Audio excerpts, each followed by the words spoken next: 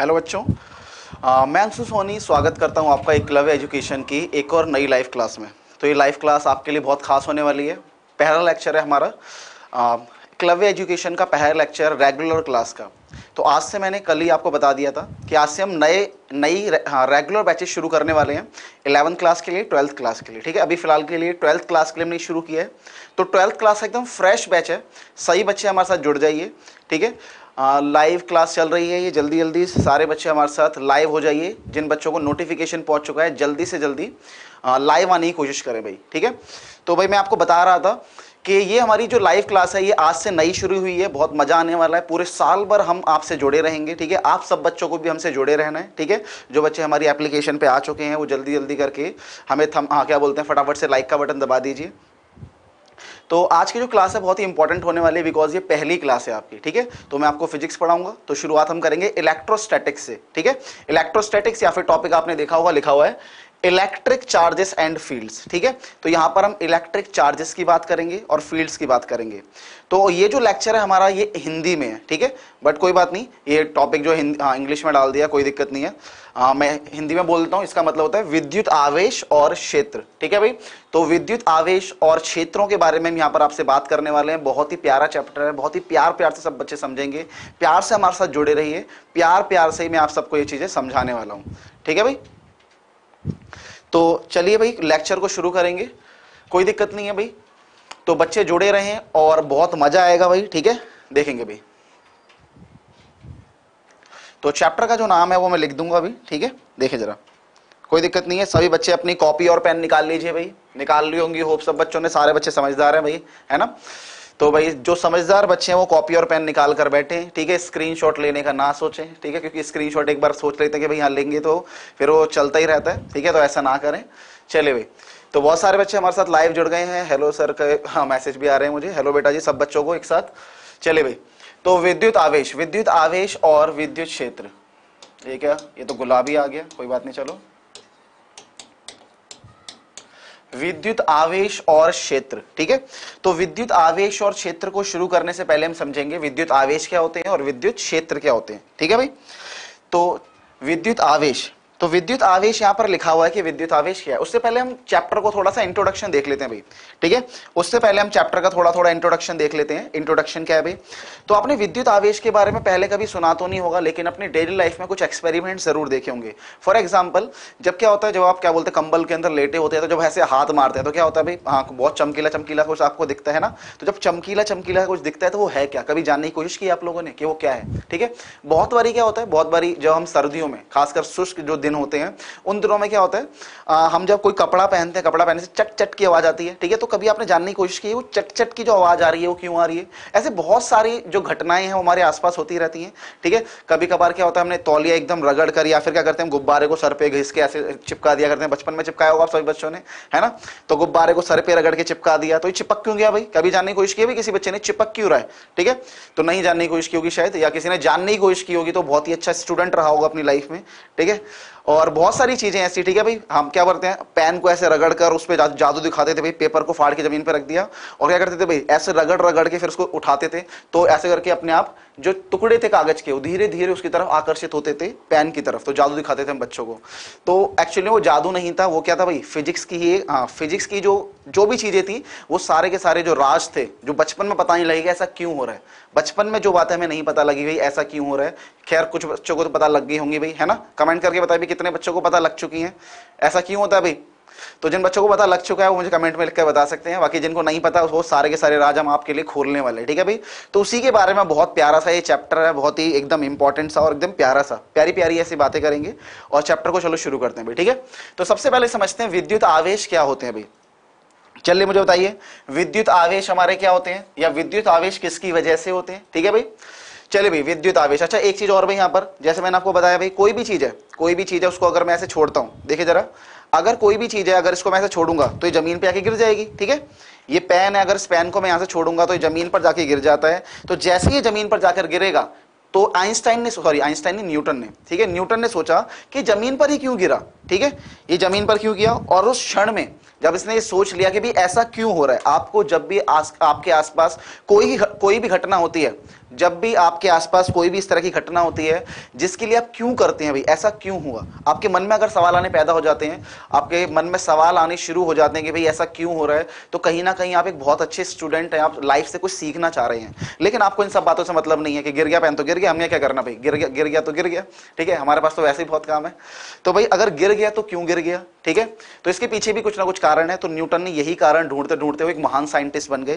तो इसका कारण उन्होंने ढूंढा कि भाई पृथ्वी जो है, हर एक चीज़ को अपनी तरफ़ आकर्षित करती है और वो सिर्फ़ उसी चीज़ को आकर्षित करती है जिसके पास द्रव्यमान होता है। तो इस पैन के पास द्रव्यमान है, इसी वजह से पृथ्वी की तरफ़ आकर्षित हुआ। बात समझ में आ रही है? इस पैन के पास द्रव्यमान है, इसलिए पृथ्वी की तरफ़ आकर्षित हुआ। तो हर एक चीज़ जिसके पास द्रव्यमान होता है, वो पृथ्वी की तरफ़ आकर्षित होता है। जैसे लाइट हो गई, लाइट के पास तो कोई द्रव्यमान है नहीं, क्लियर? तो लाइट के पास अगर कोई द्रव्यमान नहीं है, इसलिए वो पृथ्वी की तरफ़ नहीं गिरती। बात समझ में आ गई नहीं आगी? ठीक है, लेकिन पानी को अगर आप निकालोगे तो पानी क्या होगा? धरती की तरफ़ ही जाएगा। लेकिन टॉर्च मारोगे तो धरती की तरफ़ नहीं जाती। क्यों? क्योंकि लाइट के पास द्रव्यमान नहीं है। समझ में आ रहा आपकी बात ये? तो ठीक उसी तरीके से क्या होता है? हर एक चीज़ के पास जिस तरीके से क्या होता है? मास होता है और मास की वजह से पृथ्वी से आकर्षित होता है।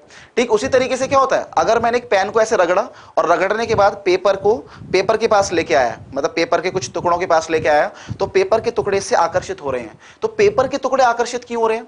तो आकर्षण होने का रीजन क्या है भाई? पृथ्वी किसी भी चीज़ को अपनी तरफ़ आकर्षित कर रही है, किसकी वजह से? द्रव्यमान की वजह से।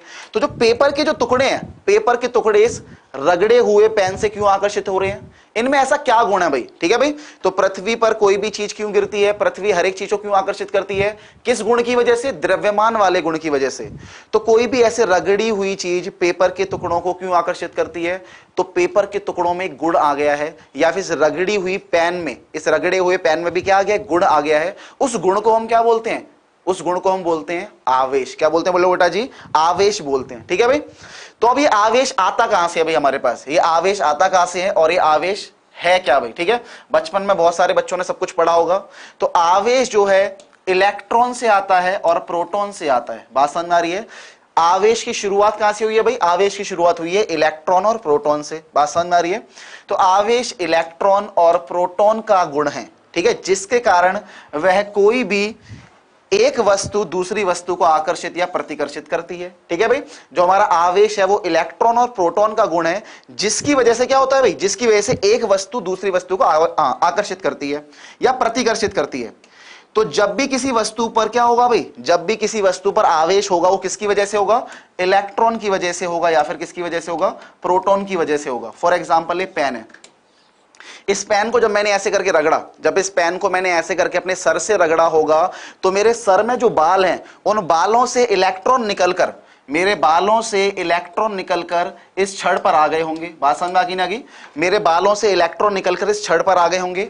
और ये इलेक्ट्रॉन अब जैसे इलेक्ट्रॉन यहाँ पर आए, जैसे इलेक्ट्रॉन यहाँ पर आए, ये जो छड़ है वो क्या हो गई? ये छड़ जो हो गई, वो आवेशित हो गई। बात समझ में आ रही है? और इस अगर ये छड़ आवेशित हो गई है अब यहाँ पर पेपर के कुछ टुकड़े पड़े हुए हैं। बात समझ में आ रही है? और हर एक चीज़ इलेक्ट्रॉन से और प्रोटॉन से मिलकर बनी हुई है। हर एक चीज़ इलेक्ट्रॉन से और प्रोटॉन से मिलकर बनी हुई है। अगर ये क्षण आवेशित हो गई है तो इसके जो इलेक्ट्रॉन होंगे, वो इसके प्रोटॉन को क्या कर लेंगे? आकर्षित कर लेंगे। और इस तरीके से क्या होता है, पेपर के टुकड़े इस क्षण से क्या हो जाते हैं भाई? आकर्षित हो जाते हैं, ठीक है? तो ये राष्ट्र हमने यहाँ पर खोल दिया। फ़िलहाल के लिए हम बात करेंगे सिर्फ़ क्या? आवेश की। तो आवेश क्या है भाई? आवेश, ध्यान रखना, इलेक्ट्रॉन का और प्रोटॉन का वह गुण होता है, जिसकी वजह से कोई भी एक वस्तु दूसरी वस्तु को या तो आकर्षित करती है या प्रतिकर्षित करती है। अच्छा आवेश कितने प्रकार के होते हैं? आवेश दो प्रकार के होते हैं। एक होता है ऋणात्मक और एक होता है धनात्मक। ऋणात्मक को हम बोलते हैं नेगेटिव बात समझ में आ रही है और धनात्मक को हम बोलते हैं पॉजिटिव ऋणात्मक आवेश जो होता है वो किसकी वजह से होता है भाई? इलेक्ट्रॉन की वजह से होता है. किसकी वजह से होता है बेटा जी? इलेक्ट्रॉन की वजह से होता है. इलेक्ट्रॉन ऋणात्मक आवेश जो होता है वो किसकी वजह से होता है? बोलो बेटा जी. इलेक्ट्रॉन की वजह से। ठीक है भाई, किसकी वजह से होता है? इलेक्ट्रॉन की वजह से होता है। ठीक है भाई, यानी कि ऋणात्मक आवेश की शुरुआत किसने करी? बोलो बेटा जी, इलेक्ट्रॉन ने करी। अगर बात समझ में आती जा रही है बेटा जी तो प्लीज़ कमेंट करके ज़रूर बताते जाएँ। और मज़ा आ रहा है तो ज़रूर बताएँ भाई, ठीक है? ऐसी बेसिक बेसिक छोटी छोटी बातें हम आपसे करेंगे, ठीक है? और बहुत छोटे छोटे तरीके से आपको एकदम बड़े बड़े कॉन्सेप्ट ले जाएँगे, ठीक है? शुरुआत बेसिक से करेंगे, ठीक है? आज हम ज़्यादा चीज़ें आपको बहुत ज़्यादा एडवांस चीज़ें नहीं बताएँगे, क्योंकि बहुत सारे बच्चे यहाँ पर हमारे साथ ऐसे जुड़े हुए हैं, जिन बच्चों के क्या अभी बहुत बहुत एडवांस कंसेप्ट समझने में परेशानी होगी। तो लेकिन जब हम नींव बहुत गहरी खोदेंगे और गहरी नींव खोद कर जब बहुत ऊँची बिल्डिंग खड़ी करेंगे तो क्या होगा? आपको हिलने में परेशानी नहीं होगी। तो ठीक इसी तरीके से हमें जब आपको शुरुआत करनी है जब आपको हम शुरुआत करा रहे हैं तो शुरुआत एकदम ऐसी कराएँगे जिससे आपको मज़ा आ जाए और शुरुआत एकदम बेसिक बेसिक जो ढांचा है आपका, जो नींव है एकदम इतनी मज़बूत बना देंगे कि जब आप एकदम बहुत ऊँचे लेवल के जब कॉन्सेप्ट पढ़े तो एकदम बहुत आसानी से समझ पाए। लेकिन जब आपकी नींव ही कमज़ोर होगी तो हायर लेवल के जो कॉन्सेप्ट है, उनको समझने में आपको बहुत परेशानी आने वाली है, ठीक है भाई? तो बहुत बेसिक बेसिक तरीके चलेंगे तो जिन बच्चों को मज़ा आ रहा है, मुझे कमेंट में लिखकर बताएँ भाई, जल्दी से।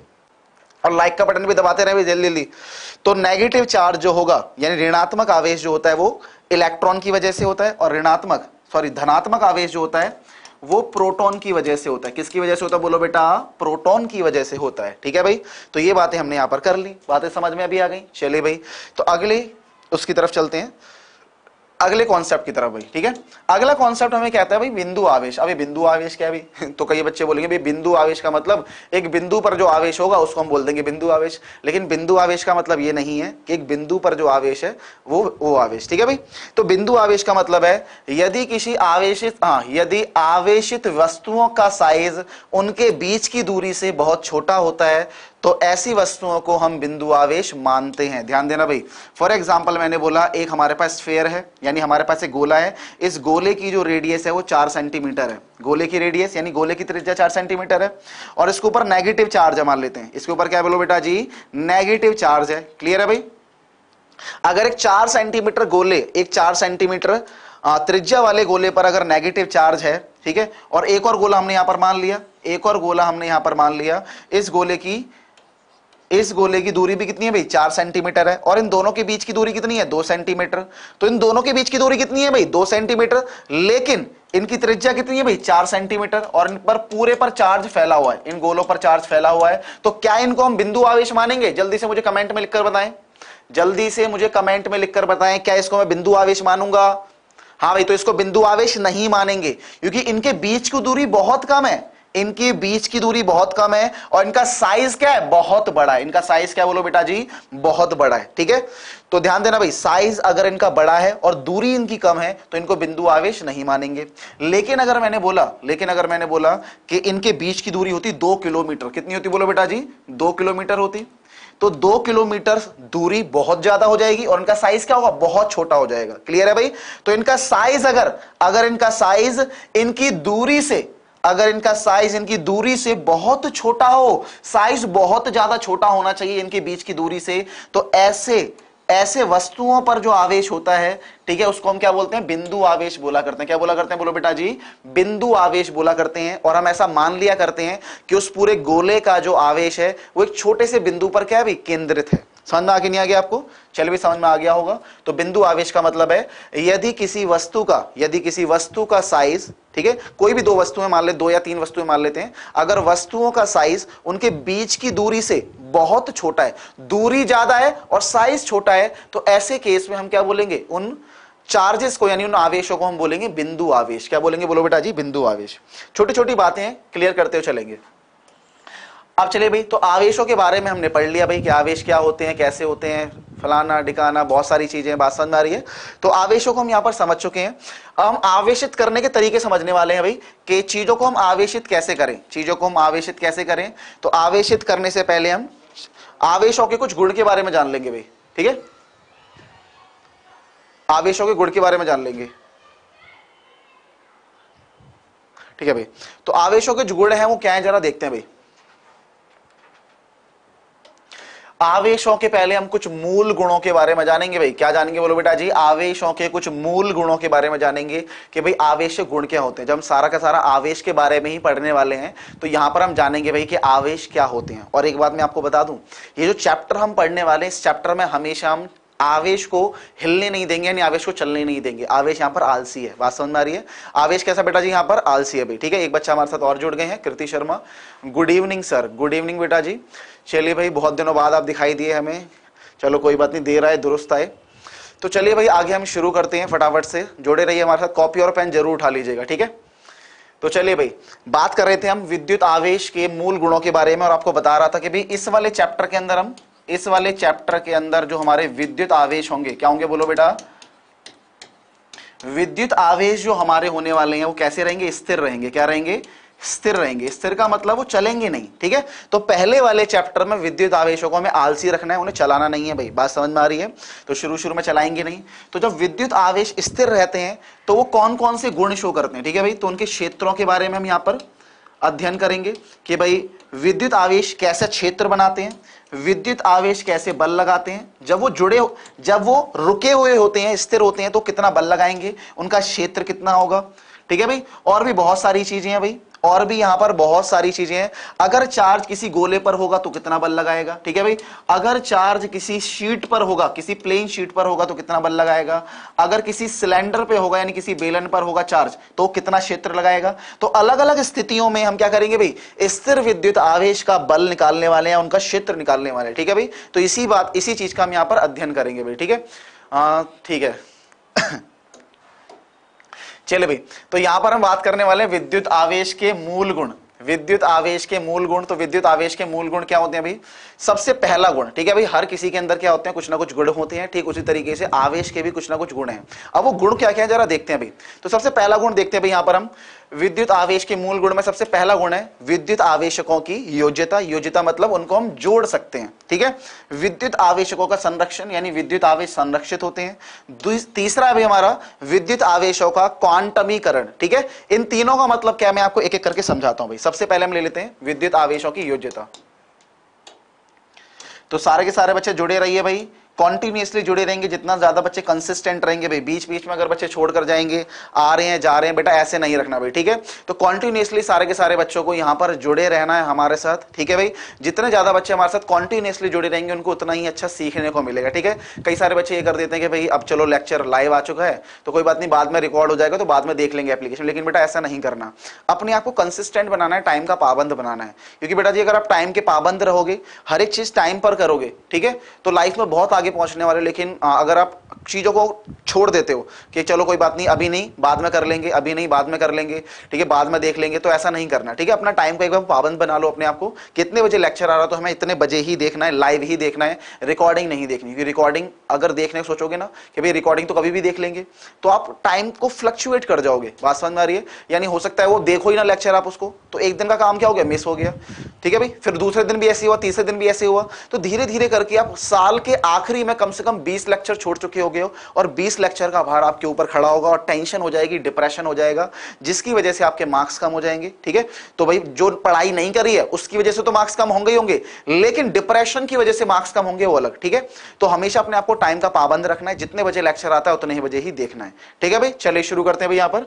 तो सबसे पहला जो हम बात कर रहे थे, वो क्या था भाई हमारा? चलिए। तो सबसे पहला जो गुण हम पढ़ने जा रहे थे, सबसे पहला गुण था हमारा विद्युत आवेशों की योग्यता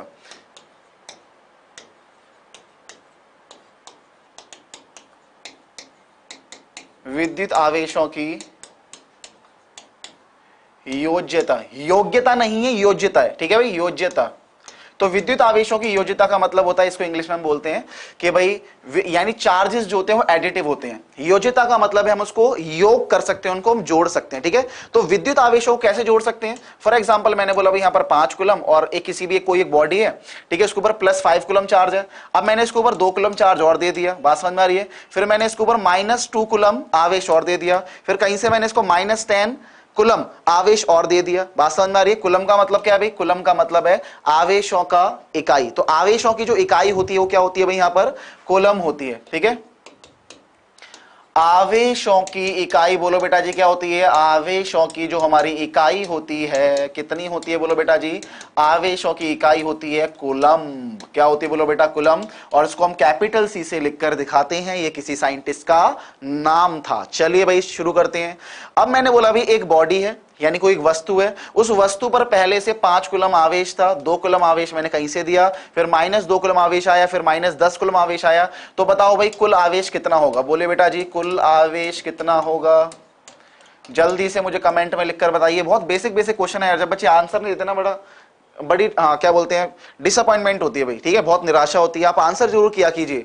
कॉन्टिन्यूसली मेरे साथ रिस्पॉन्सिव रहा कीजिए कॉन्टिन्यूसली आंसर ज़रूर किया कीजिए कि हाँ भाई ये होगा वो होगा ठीक है? क्वेश्चन में पूछता हूँ तो।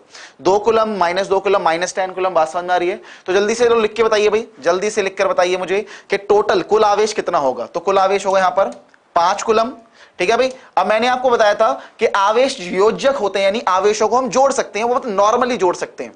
तो पाँच आ गया, दो आ गया, साथ में माइनस का दो आ गया, और साथ में माइनस का दस आ गया। तो आवेशों को हम बहुत ही आराम से जोड़ सकते हैं। जो माइनस वाले होंगे, उनको माइनस लिखेंगे। ठीक है भाई? चलिए। तो यहाँ पर हमारा आएगा, माइनस दो से प्लस दो कट जाएगा, और पाँच माइनस दस। क्लियर है? टोटल कितना आ गया? माइनस का पाँच कुलम आ गया।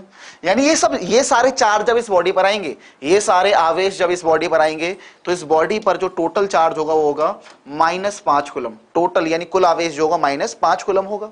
बात समझ आ गई नहीं आ गई तो आवेशों को हम जोड़ सकते हैं। तो पहले वाला समझ में आ गया होगा। अगला बात करते हैं भाई। दूसरा क्या था भाई हमारा? दूसरा जो था हमारा वो ये था कि भाई, आवेश संरक्षित होते हैं। विद्युत आवेश संरक्षित होते हैं। विद्युत आवेश हाँ आवेशों का संरक्षण। विद्युत आवेशों का संरक्षण। विद्युत आवेशों का संरक्षण। अच्छा आपने वहाँ नोट नहीं किया होगा, मैं आपके लिए नोट करने के लिए लिख देता हूँ भाई। तो ये रहा भाई, सारे के सारे बच्चे नोट कर लीजिए जल्दी से।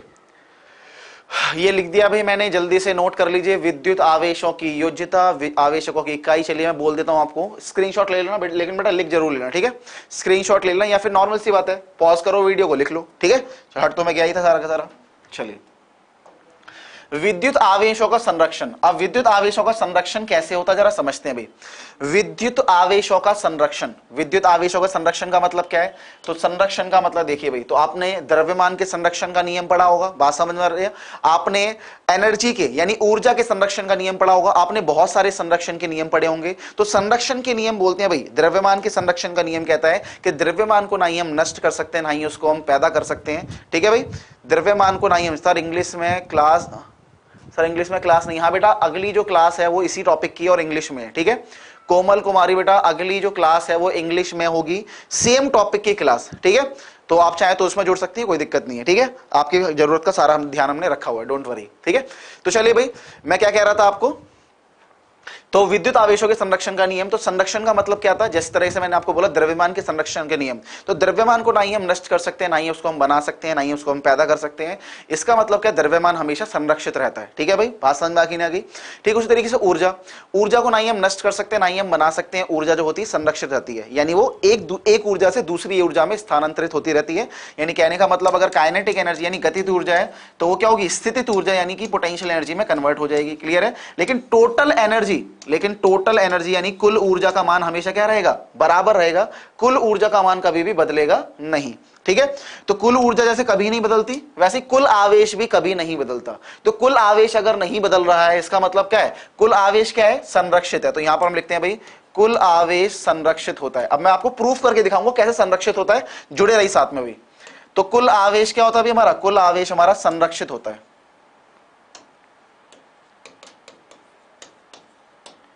कुल आवेश संरक्षित होता है। ठीक है? कुल आवेश जो होता है, वो किसी भी बॉडी पर क्या होगा? संरक्षित होगा। अब कैसे होगा? जरा जानते हैं भाई। तो होने का बहुत सिंपल सा मतलब है। अगर मान लेते हैं मैंने दो बॉडी ली, ठीक है? अगर मैं दो बॉडी को लेकर आता हूँ, यहाँ पर 10 इलेक्ट्रॉन है और यहाँ पर 10 प्रोटॉन्स है, ठीक है भाई? और यहाँ पर पाँच इलेक्ट्रॉन पाँच प्रोटॉन्स है और पाँच इलेक्ट्रॉन्स है, ठीक है? तो शुरुआत में टोटल चार्ज कितना है भाई? तो शुरुआत में टोटल आवेश यहाँ पर ज़ीरो है और यहाँ पर भी कुल आवेश कितना है? ज़ीरो है। दोनों तरफ़ यहाँ पर कुल आवेश कितना होगा बोलो बेटा जी? ज़ीरो होगा। दोनों तरफ़ कुल आवेश कितना होगा? बोलो बेटा जी, ज़ीरो होगा। बात समझ में आ रही है? अब जरा आगे आ जाते हैं भाई यहाँ पर। बात समझ में आ रही है? जब आगे यहाँ पर आ जाएँगे तो मुझे बताओ भाई, अब मैंने क्या किया? इनको रगड़ना स्टार्ट कर दिया। बात समझ में आ रही है? जब मैंने इनको रगड़ना स्टार्ट करा तो रगड़ने से क्या हुआ? इसके कुछ इलेक्ट्रॉन निकल कर यहाँ पर आ गए। मान लेते हैं यहाँ से पाँच इलेक्ट्रॉन निकल कर कहाँ पर आ गए? बोलो बेटा जी, पाँच इलेक्ट्रॉन निकल कर यहाँ पर आ गए। तो यहाँ पर क्या होगा? दस प्रोटोन तो दस प्रोटोन ही रहेंगे। यहाँ पर इलेक्ट्रॉन कितने रह जाएँगे भाई? यहाँ इलेक्ट्रॉन रह जाएँगे पाँच। जब पाँच इलेक्ट्रॉन यहाँ से निकलकर यहाँ आ जाएँगे, यानी स्थानांतरित हो जाएँगे पाँच इलेक्ट्रॉन तो यहाँ तो पाँच इलेक्ट्रॉन ही बचेंगे, है ना भाई? और इस वाली बॉडी पर क्या होगा? इस वाली बॉडी पर पाँच प्रोटॉन थे, बात समझ में आ रही है? पाँच इलेक्ट्रॉन थे, साथ में पाँच इलेक्ट्रॉन और आ गए, है ना भाई? तो कितने इलेक्ट्रॉन हो गए भाई? दस इलेक्ट्रॉन हो गए। तो यहाँ पर कितना चार्ज हुआ भाई? तो यहाँ पर प्लस का तो दस है, लेकिन माइनस का क्या है भाई? पाँच है, बात समझ आ रही है? टोटल चार्ज कितना हुआ? प्लस का पाँच हो गया, बात समझ आ रही है? यहाँ पर प्लस का पाँच चार्ज है ठीक है भाई? और यहाँ पर माइनस का कितना भाई? माइनस का है यहाँ पर दस। माइनस का कितना हो गया भाई? दस, क्योंकि दस इलेक्ट्रॉन है। टोटल चार्ज यानी कुल आवेश कितना हो गया? कुल आवेश हो गया भाई माइनस का पाँच। ठीक है भाई? ऐसा हमने मान लिया। तो यहाँ पर कुल आवेश कितना भाई? तो यहाँ पर जो कुल आवेश मैंने दोनों को जोड़कर निकाला था, यहाँ पर जो मैंने कुल आवेश दोनों को जोड़कर निकाला था, कितना था बोलो बेटा जी? कुल आवेश जो मैंने यहाँ पर निकाला था, वो निकाला था भाई ज़ीरो। बात समझ में आ रही ज़ीरो जमा ज़ीरो ज़ीरो आ गया। अब यहाँ पर अगर मैं कुल आवेश निकालूँगा तो कितना आएगा? बोलो बेटा जी।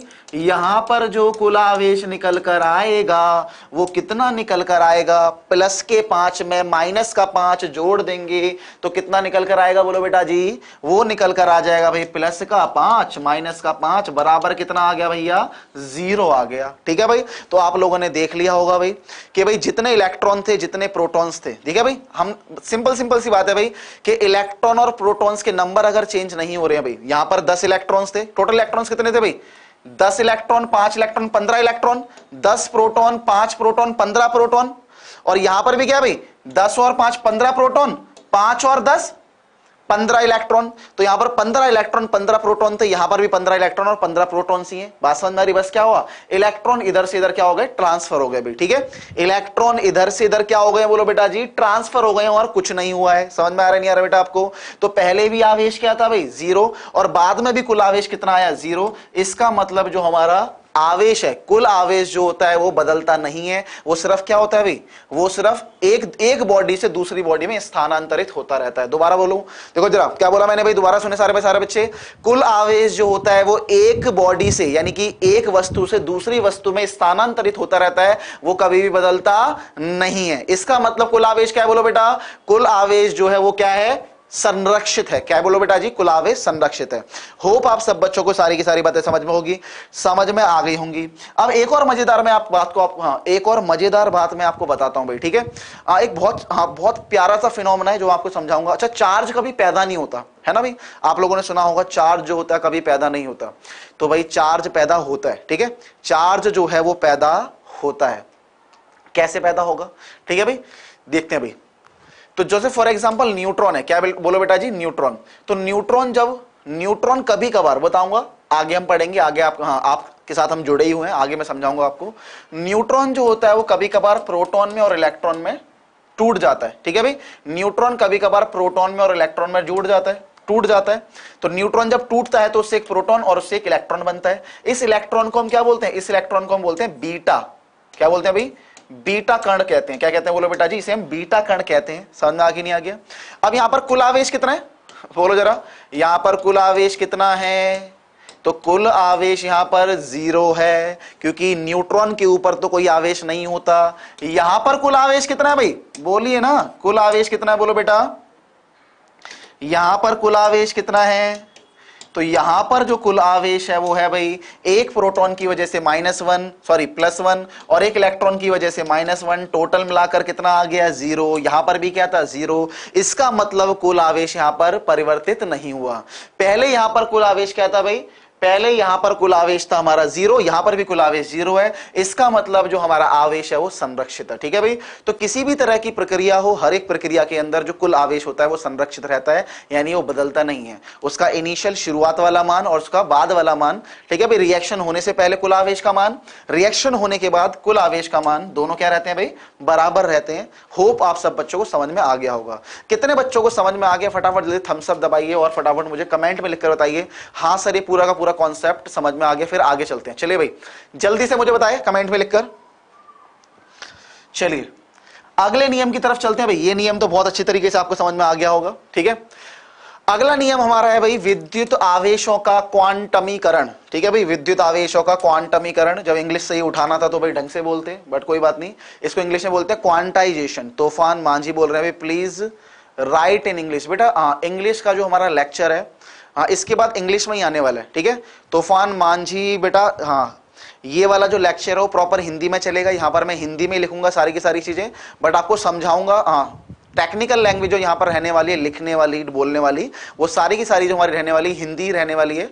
अगर आप इंग्लिश में इस लेक्चर को अटेंड करना चाहते हैं तो थोड़ा वेट कर लीजिए, इसके बाद बिल्कुल सेम टॉपिक इसके बाद सारा का सारा सेम टॉपिक मैं आपको इंग्लिश में समझाऊँगा अगली क्लास में, ठीक है?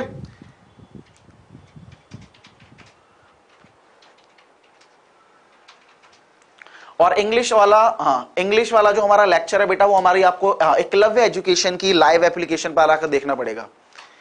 इंग्लिश का जो इंग्लिश का जो हमारा लेक्चर है, वो आपको एकलव्य एजुकेशन की लाइव एप्लीकेशन पे आके देखना पड़ेगा। और आपको इंग्लिश में देखना तो हाँ आपके लिए एक अच्छी बात, अगर आपको ये इंग्लिश में देखना है तो यूट्यूब पे ऑलरेडी पड़ा हुआ है, ठीक है? यूट्यूब पे हमने जो लेक्चर है इंग्लिश में रिकॉर्ड करके डाला हुआ है, ठीक है? आप चाहें तो वहाँ पर देख सकते हैं, अभी भी मौजूद होगा वो, ठीक है? इंग्लिश में देख के हाँ इंग्लिश में यूट्यूब के चैनल पर जाके देख लीजिए।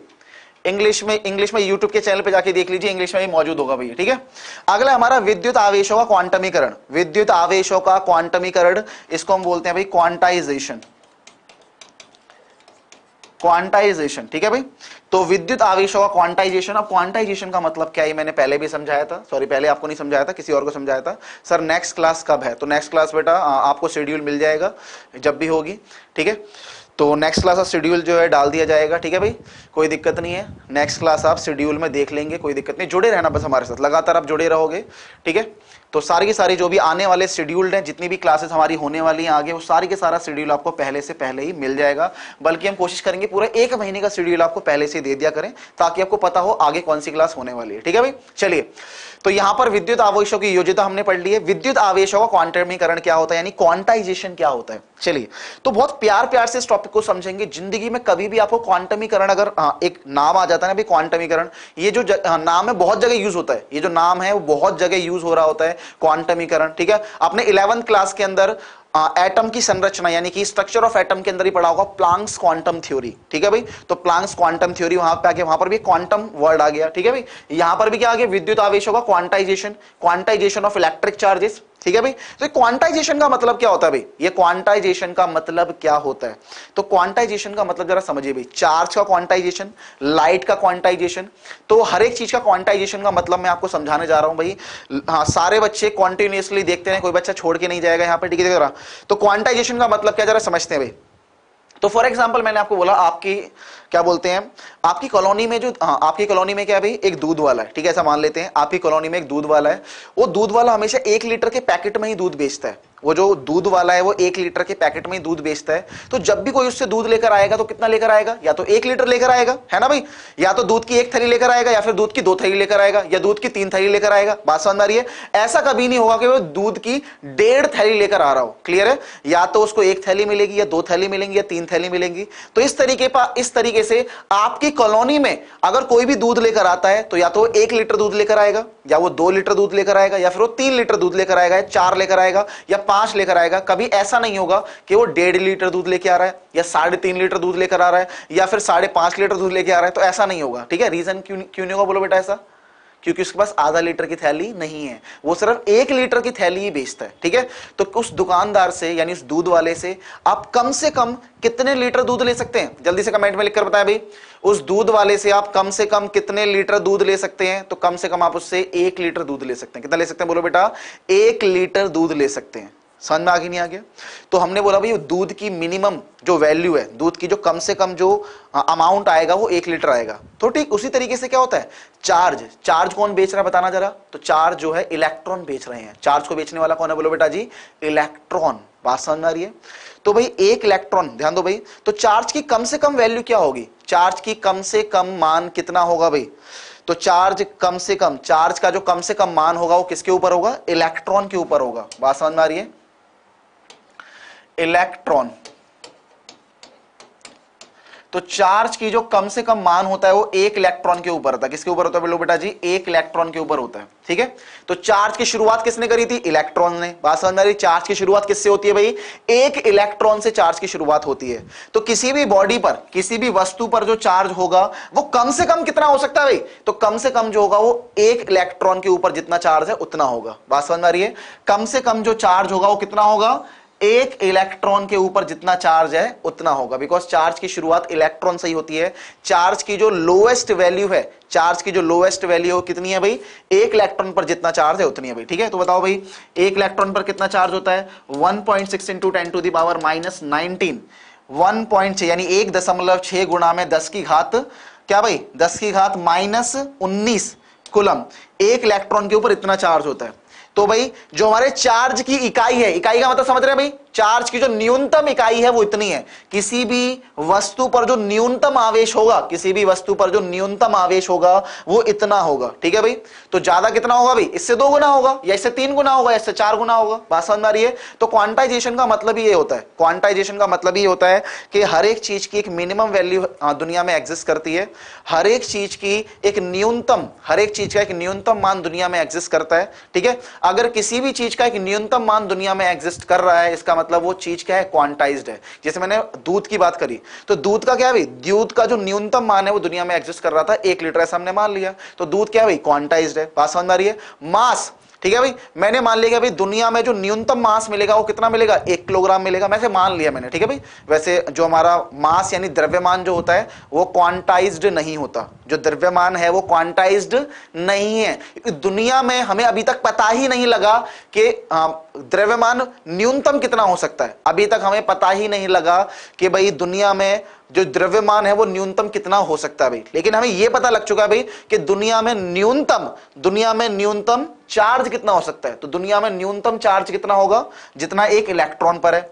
अच्छा और कितना हो सकता है भाई? इस इसका दो गुना भी हो सकता है, इसका तीन गुना भी हो सकता है, इसका चार गुना भी हो सकता है, इसका पाँच गुना भी हो सकता है। बात समझ में आ रही है?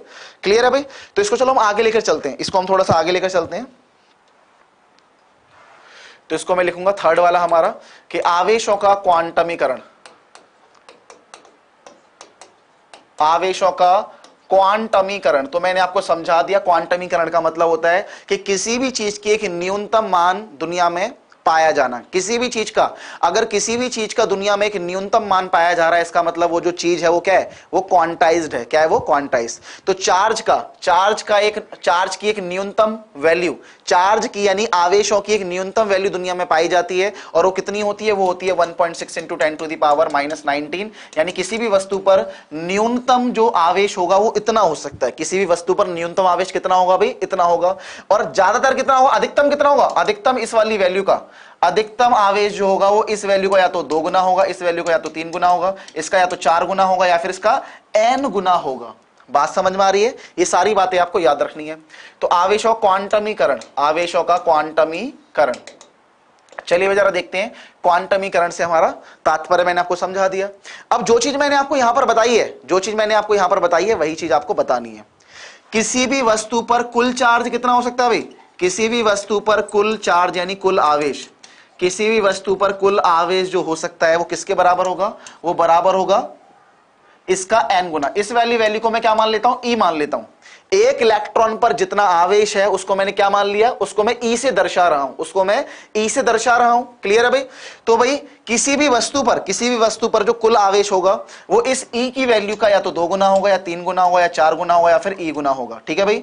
तो यहाँ पर एन का मतलब क्या है भाई? एन का मतलब है कि इलेक्ट्रॉनों की संख्या। तो इलेक्ट्रॉनों की संख्या जितनी ज़्यादा होगी, उसके ऊपर आवेश भी उतना ही होगा। तो एक इलेक्ट्रॉन का आवेश कितना भी इतना। एक इलेक्ट्रॉन का आवेश कितना इतना। और ये क्या भाई? इलेक्ट्रॉनों की संख्या। ये क्या भाई? इलेक्ट्रॉन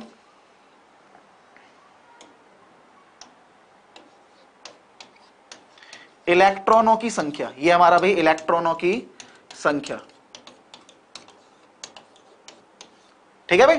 तो एन का मतलब है इलेक्ट्रॉनों की संख्या। जैसे मैंने बोलता ना भाई, दो इलेक्ट्रॉन होंगे तो चार्ज कितना होगा? दो इलेक्ट्रॉन जितना। तीन इलेक्ट्रॉन होंगे तो तीन इलेक्ट्रॉन जितना। चार इलेक्ट्रॉन होंगे तो चार इलेक्ट्रॉन जितना। अगर एन इलेक्ट्रॉन होंगे तो कितना होगा? एन इलेक्ट्रॉन होंगे तो कितना होगा? एन इलेक्ट्रॉन जितना, बात समझ में आ गई नहीं आ गई भाई? तो कितने बच्चों को बेटा ये सारी की सारी बातें समझ में आ रही हैं? वो जल्दी जल्दी कमेंट में लिखकर मुझे बताते जाएँ भाई। बहुत ही इंपॉर्टेंट कॉन्सेप्ट है भाई ये। बहुत ही इंपॉर्टेंट कंसेप्ट है। ये आगे बहुत दिक्कत करेगा अगर आपने अभी नहीं समझा तो। ठीक है भाई? तो किसी भी हाँ किसी भी वस्तु पर जो कुल आवेश होता है, वो किस एक इलेक्ट्रॉन के आवेश का एन गुना होता है भाई। ठीक है? तो ये बात हम यहाँ पर लिखने वाले हैं भाई, किसी भी वस्तु पर। अपनी कॉपी में लिखते हैं अभी सारे बच्चे। किसी भी वस्तु पर, ध्यान दें भाई सारे बच्चे, किसी भी वस्तु पर। किसी भी वस्तु पर कुल आवेश। कुल आवेश। किसी वस्तु पर कुल आवेश एक इकाई मान का। एक इकाई मान का एन गुना होता है। एन गुना होता है, ठीक है? और वो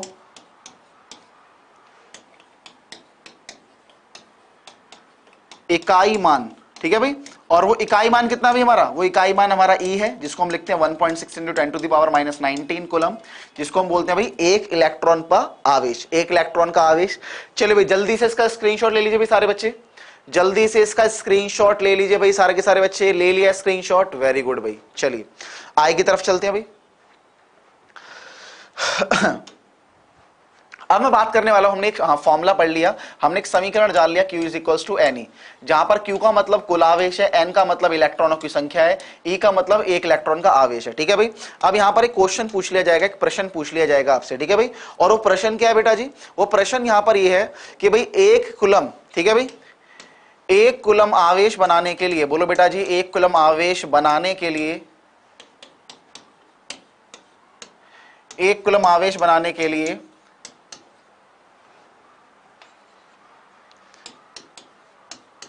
एक कुलम आवेश बनाने के लिए, एक कुलम आवेश बनाने के लिए कितने इलेक्ट्रॉनों की ज़रूरत पड़ेगी? कितने?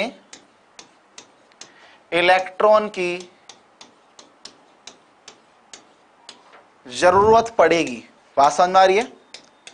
तो चलो निकाल लेते हैं भाई, कि एक कुलम आवेश बनाने के लिए कितने इलेक्ट्रॉनों की ज़रूरत पड़ने वाली है? तो क्या पूछ लिया भाई, कितने इलेक्ट्रॉन? तो कितने इलेक्ट्रॉन का मतलब इलेक्ट्रॉनों की संख्या निकालनी है। इलेक्ट्रॉन की संख्या निकालने का मतलब हमें क्या निकालना है? एन निकालना है। एक कुलम का मतलब क्या भाई? एक कुलम का मतलब यहाँ पर कुल आवेश। एक कुलम का मतलब क्या बेटा जी? कुल आवेश। तो कुल आवेश हमें कितना दे रखा है बोलो बेटा? तो कुल आवेश जो हमें यहाँ पर दे रखा है, वो हमें दे रखा है यहाँ पर कितना? एक कुलम। कितना दे रखा है बोलो बेटा? कुल आवेश, यानी क्यू जो हमें दे रखा है, वन कुलम दे रखा है। अब हमें निकालना है क्या? है हमें ये निकालना है। E की वैल्यू आप सब बच्चों को पता ही है। E की वैल्यू कितनी होती है? 1.6 point six into ten to the power minus nineteen coulomb. ठीक है भाई? चलो कैलकुलेट कर लेते हैं। अब जैसा कि हमें पता है, प्रश्न के अनुसार क्यू बराबर कितना होता है? एन ही होता है। निकालना क्या है? एन निकालना है। तो एन निकालने का समीकरण क्या बन जाएगा? वो बन जाएगा क्यू बटे में ई e। बात समझ में आ रही है? क्यू की वैल्यू कितनी है? एक कुलम। ई की वैल्यू कितनी है? वन पॉइंट सिक्स इंटू में ten to the power minus nineteen coulomb. बात समझ में आ रही है? अगर मैं इन दोनों को काटूँगा तो काटने पर हमारा बनेगा भाई six point two five into में टेन टू दी पावर यहाँ पर आ जाएगा भाई अठारह, ठीक है भाई? तो ये हमारे क्या आ गए भाई? इलेक्ट्रॉनों की संख्या आ गई, ठीक है भाई? तो ये आपको खुद कैलकुलेट करके देखना भी सारे बच्चों को। ये सभी बच्चों को आपको खुद कैलकुलेट करके देखना है कि ये जो वैल्यू आ रही है वो सही है या फिर गलत है। वैसे तो ये वैल्यू आ, सही है। ठीक है भाई? समझ में आगे नहीं आ गया? तो एक कुलम आवेश बनाने के लिए कुल हमें कितने इलेक्ट्रॉन चाहिए होंगे? छह दशमलव दो हाँ छह दशमलव दो पाँच गुणा में दस की घात अठारह। समझ में आगे नहीं आ गया भाई? तो कितने बच्चों को समझ में आ गया है? जल्दी से फटाफट बेटा लाइक का बटन दबाए और कमेंट में तो लिखकर ज़रूर बताया करें भाई सारी बातें। ठीक है? चलिए भाई जल्दी से आगे चलते हैं। अगले टॉपिक की तरफ़ भाई। जल्दी से भाई आगे चलते हैं अगले टॉपिक की तरफ़। अगला टॉपिक हमारा क्या है? जरा देख लेते हैं भाई। तो यहाँ पर हमने सारी की सारी बातें कर ली हैं। ठीक है भाई? इसको आप जल्दी से एक बार स्क्रीनशॉट ले लीजिए। इसका स्क्रीनशॉट फटाफट जल्दी से ले लीजिए भाई। ले लिया स्क्रीनशॉट चलिए भाई, ले लिया होगा। आगे चलते हैं फटाफट से हम। तो अगला जो हमारा टॉपिक है वो क्या भी हमारा विद्युत आवेशों के मूल गुण हमने पढ़ लिए। पहला गुण हमने पढ़ा भाई विद्युत आवेशों को जोड़ा जा सकता है। विद्युत आवेश संरक्षित होते हैं बात समझ में आ रही है? विद्युत आवेश जो है संरक्षित होते हैं। अगर एक बॉडी अगर कोई दूसरी बॉडी एक दूसरी बॉडी से चार्ज होती है ठीक है भाई? अगर एक हाँ, अगर कोई भी आवेशित आवेशित वस्तु से मैं दूसरी वस्तु को आवेशित करता हूँ तो उसमें क्या होता है? चार्ज का स्थानांतरण हो रहा है। चार्ज का स्थानांतरण होगा, चार्ज कभी भी पैदा नहीं होगा, चार्ज कभी मरेगा नहीं। क्लियर है? तीसरी बात हमने पढ़ी, विद्युत आवेशों क्वांटमीकरण। तो किसी भी चीज़ के क्वांटमीकरण का मतलब होता है किसी भी चीज़ के क्वांटमीकरण का मतलब होता है कि उस चीज़ की न्यूनतम मान दुनिया में पाया जाता है। ठीक है भाई? तो जैसे चार्ज का जो न्यूनतम मान होता है वो कितना होता है? One point six into ten to the power minus nineteen जिसको हम ई e भी लिखा करते हैं। ठीक है? तो किसी भी वस्तु पर जो कुल आवेश होगा वो इस ई e की वैल्यू का या तो दो गुना होगा या तीन गुना होगा या चार गुना होगा या फिर एन गुना होगा। ठीक है? और इससे हमने एक समीकरण बना लिया वो समीकरण था हमारा एन ई e, ठीक है? तो किसी भी वस्तु पर जो कुल आवेश होगा वो एक इलेक्ट्रॉन के आवेश का एन गुना होगा। इसे हम बोलते हैं क्वांटमीकरण यानी क्वांटाइजेशन समझ में आ गया? तो ये तीनों चीज़ें हमने पढ़ ली थी, यानी विद्युत आवेश के तीन मूल गुण हम यहाँ पर पढ़ चुके हैं। कितने बच्चों को ये तीनों के तीनों गुण जो है एकदम प्यारे तरीके से, खतरनाक तरीके से समझ में आ गए? जल्दी से मुझे कमेंट में लिखकर ज़रूर बताएँ भाई। ठीक है? जल्दी से। चलिए, फ़िलहाल मैं इसे मिटा रहा हूँ। और अगले टॉपिक की तरफ़ हम चलते हैं। भाई, हमारा अगला टॉपिक जो है, वो क्या है भाई? तो अगला टॉपिक है हमारा कुलाम का नियम। ठीक है, भाई, कुलम का नियम बोलते हैं इसको हम। Coulomb's law. अगर मैं इंग्लिश में से बोलूँगा तो कुलम्स लॉ बोलेंगे भाई। Coulomb's law. तो कुलम्स लॉ यानी कुलम का नियम जो है, कुलम, इसको हिंदी में बोलते हैं भाई, कुलम का नियम। तो कुलम का नियम हमारा क्या है भाई? तो कुलम का नियम क्या है? ये बहुत ही महत्वपूर्ण नियम है, बात समझ में आ रही है। कुलम का नियम कैसा है क्या है वो किस बारे में बात करता है ठीक है? तो यहीं से हम शुरुआत कर देते हैं दो आवेशों के बीच में लगने वाले बल की ठीक है? लेकिन इससे पहले हम क्या करेंगे? इससे पहले हम मेथड ऑफ़ चार्जिंग पढ़ेंगे ठीक है? इससे पहले हम बात करेंगे मेथड ऑफ़ चार्जिंग की तो मेथड ऑफ़ चार्जिंग हम अगली अगली क्लास में करेंगे। उसके बाद हम बात करेंगे यहाँ पर गुलाम के नियम की ठीक है? यानी आवेशों के बीच में लगने वाले बल की ठीक है? तो अगली क्लास बहुत ही इंपॉर्टेंट होने वाली है ठीक है? हाँ, सारे के सारे बच्चे एकदम जोश में रहिए शुरुआत है लेक्चर की और आगे एकदम बहुत पावरफुल लेक्चर्स आप सब बच्चों को मिलने वाले हैं। सारी की सारी बातें इसी तरीके से एकदम प्यार से मैं सारे के सारे बच्चों को आ, सभी बच्चों को समझाने वाला हूँ भाई ठीक है? तो सभी बच्चे हमारे साथ जुड़े रहिए और बहुत ही इंपॉर्टेंट टॉपिक हम डिस्कस करेंगे अगली क्लास में। हम जानेंगे भाई किस तरीके से हम किसी भी वस्तु को आवेशित कर सकते हैं ठीक है? बहुत ही प्यारा तरीके से समझाऊँगा। ऐसे समझाऊँगा जैसे पहले कभी आपने वो चीज़ नहीं पढ़ी होगी। दूसरी बात हम यहाँ पर कुलाम का नियम पढ़ेंगे। तो कुलाम का नियम हमें बताता है कि दो हाँ, आवेशित वस्तुओं के बीच में दो आवेशित वस्तुओं के बीच में कितना बल लगता है, ठीक है? कितना बल लगता है वो कैसे निकालेंगे, ठीक है? ऐसा कुल हाँ कुलम का नियम, हम ऐसे पढ़ाऊँगा, शायद आपने पहले कभी नहीं पढ़ा होगा, या पढ़ा होगा तो आपको अच्छा लगेगा, हमने कुछ नया जाना है। बात समझ में रही है? कुलम का नियम कब कब लगता है? आपने सिर्फ़ कुलम के नियम के बारे में पढ़ा होगा, लेकिन मैं आपको बताऊँगा कुलम का नियम कब कब लगेगा, कब कब नहीं लगेगा, ठीक है? और कुलम के नियम कुलम के नियम किन किन बातों पर निर्भर करता है? ऐसी बहुत सारी एकदम नई नई बातें हम जानेंगे अगली क्लास में, ठीक है? तो अगली क्लास में हमारे साथ जुड़े रहिए और एकदम फ्रेश लेक्चर है। अपने जो भी आपके दोस्त यार, जो भी आपके फ्रेंड्स हैं, आसपास उन सब बच्चों को बोलिए, हमारे साथ जुड़े। बहुत ही इंपॉर्टेंट लेक्चर्स हैं। हिंदी में किए, कराए जा रहे हैं। ठीक है लैंग्वेज यहाँ पर आपकी प्रॉब्लम्स नहीं रही है। ठीक है, हिंदी, इंग्लिश दोनों में क्लव एजुकेशन एक ऐसा प्लेटफॉर्म है जो आपको हिंदी, इंग्लिश दोनों में ये लेक्चर्स प्रोवाइड करवा रहे हैं। ठीक है, यहाँ पर इंडिया में मतलब इंडिया का एकमात्र ऐसा संस्थान है जो आपको हिंदी में साथ साथ इंग्लिश में, इंग्लिश के साथ साथ हिंदी में खासकर आपको ये लेक्चर्स प्रोवाइड करा रहा है। ठीक है, हर एक subject physics chemistry biology mathematics हर एक चीज़। ठीक है तो अपने दोस्तों को भी जोड़िए, आप भी जोड़िए और सबका भला कीजिए, अपना भी कीजिए, ठीक है? और अच्छे मार्क्स की हाँ उम्मीद करते हैं हम, आपके जो बोर्ड्स की परीक्षाएँ होंगी, ठीक है, उसमें एकदम बहुत बढ़िया तरीके से मार्क्स लेकर आएँगे, चाहे हिंदी मीडियम होगा, चाहे इंग्लिश मीडियम, ठीक है? तो इसी तरीके से जुड़े रहिए हमारे साथ, सारे के सारे बच्चे पूरे साल भर एकदम पावरफुल लेक्चर्स आपके साथ होने वाले हैं। तो यहीं पर इस लेक्चर को हम अंत करते हैं, बता दिया अगले टॉपिक में क्या होने वाला है, ठीक है? Thank you